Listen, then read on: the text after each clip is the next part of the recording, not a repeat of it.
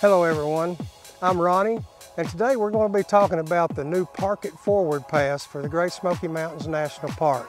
This is a new program that the Park Service has put in place exclusively for the Great Smoky Mountains National Park and I've had a lot of questions about how do you go about getting it, what does it cost, what do you do with it. So today we're going to look at some of that on their website and see how we can find out how you can obtain your annual parking pass for the Great Smoky Mountains National Park.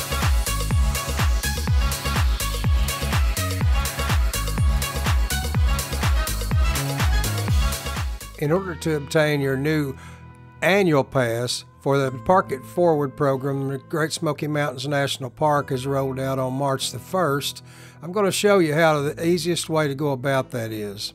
So open your browser up, type in Great Smoky Mountains National Park. It should be the first one that comes up in the search results, Great Smoky Mountains National Park. That will take you to the Great Smoky Mountains National Park homepage. If you'll scroll down the homepage, you'll see a great big square on the left side of the page. It says Park It Forward, Great Smoky Mountains National Park. If you click on this anywhere in this area, it'll take you to a second page in the National Park Service that addresses how to obtain your Park It Forward pass. Now, we're talking about an annual pass today because there is two separate websites that you use whether you're going to purchase a weekly or daily pass or the annual pass. So in this video, we're going to talk about the annual pass. I've uh, I'm going to attach a link to another video that we've made on how to obtain a weekly or daily pass that will be helpful to you if you're not going to require an annual pass. If you'll notice here on this page, there's a YouTube video in, embedded in the page. It's about four and a half minutes long that has complete information on the Park It Forward program. So that's a that's a very helpful and I also put a link to that in the description as well so you'll be able to find it easily. You see the parking tag basics here has the prices of your daily pass for $5, a weekly pass for $15, and the annual pass for $40 that we're going to be discussing today. It has some, some other information listed here about particular park, National Park Service passes that is or is not accepted under this program. This parking pass is exclusive to the Great Smoky Mountains National Park. You cannot use it in any other parks in the National Park system, or you cannot use other options from other parks in place of this Park It Forward pass. So as we go down, uh, the annual pass says purchase and ship on your first tag purchase option.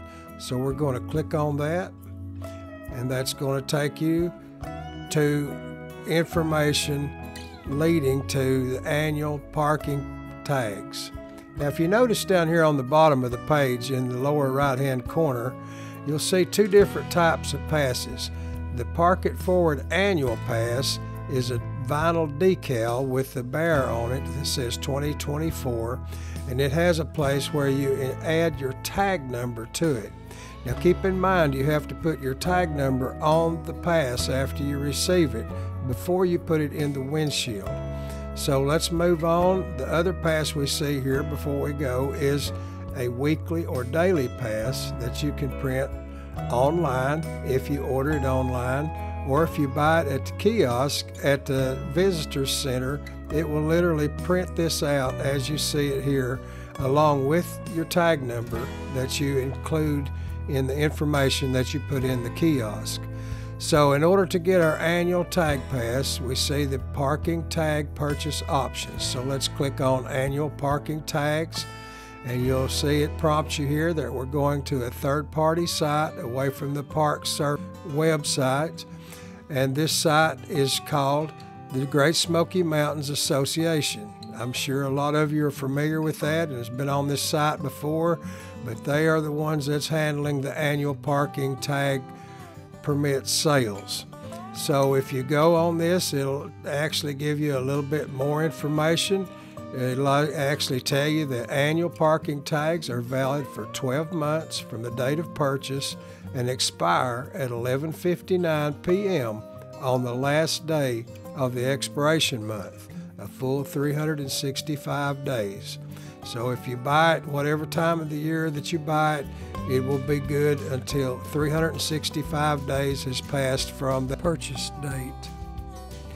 So we're going to go to add pre-order to cart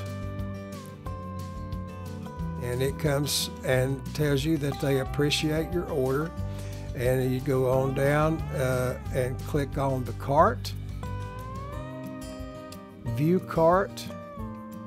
And there it is. There's your annual parking tag in the par in the cart. It's charging you $40 for one. If you're going to buy more than one say you're going to take two cars with you on your trip and you need a parking tag for both for the annual period uh, you can add or subtract update the cart you might even want to consider getting one for a gift for someone to give them an annual parking tag as a gift. That would make a great gift.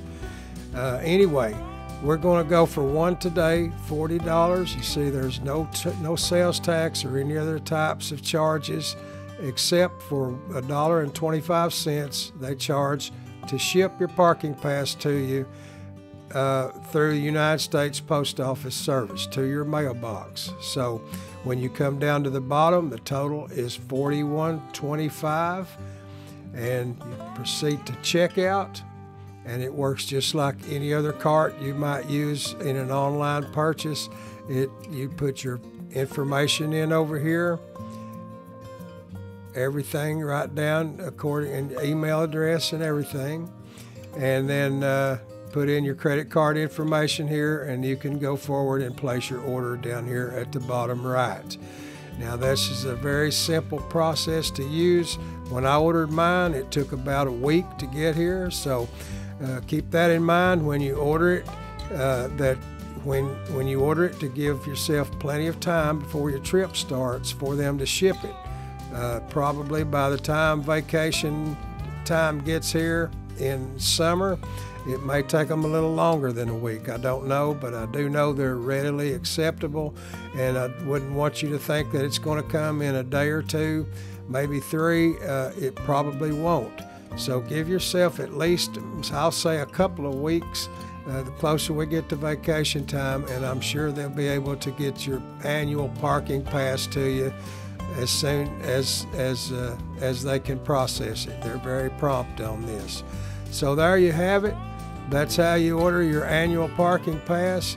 We're going to go to the car and uh, I'm going to actually show you how to install it on the on the vehicle. So uh, just follow us out to the vehicle and we're going to see what uh, what we have to do to get this on the car where we can go enjoy the Great Smoky Mountains and all the beauty that it has for us. Okay, so we're out here at the car. I've just got my annual pass that I received a few days ago. So we're going to show you how to install it on the car where the rangers can find it without any problems. So this is the way it comes from the Great Smoky Mountains Association on the website that I showed you. And so we're going to look and see what they put inside. First of all, there's your annual parking tag that they send. It comes just like this. And they also include your receipt.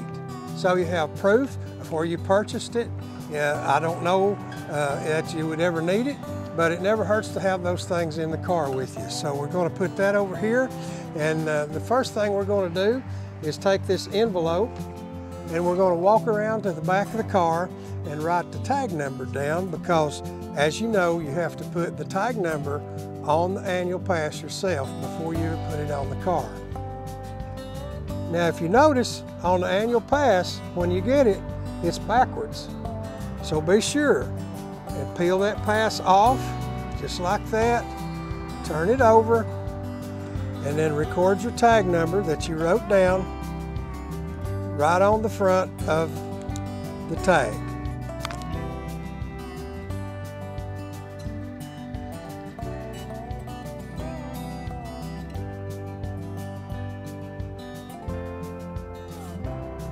Like that.